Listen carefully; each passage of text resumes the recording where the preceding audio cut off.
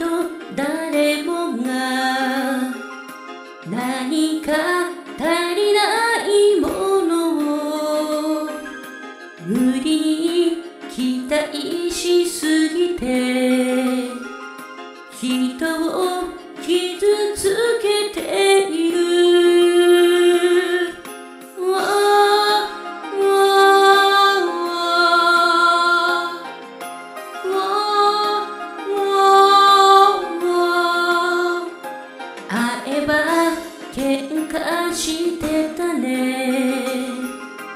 長く言い過ぎたのかな？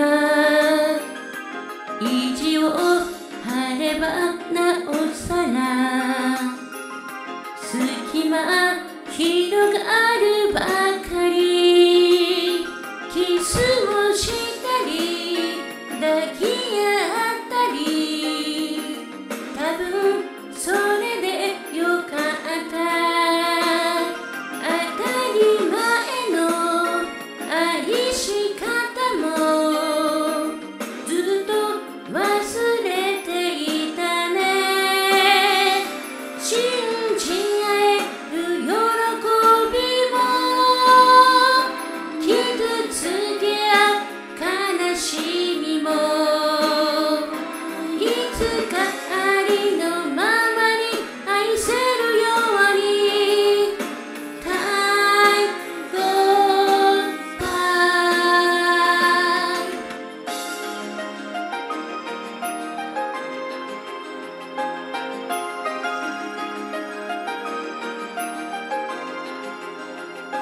都合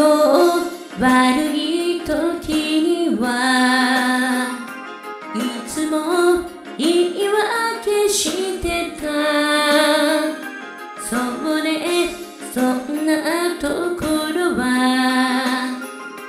二人横にいていたね安らぎとか真実とかいつも求めてたけど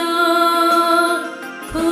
葉のように簡単にはうまく伝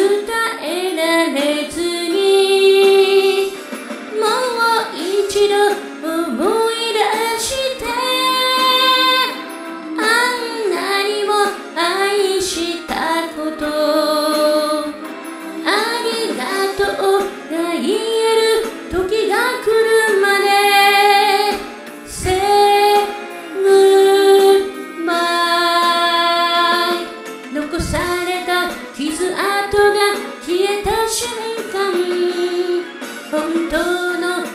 小さな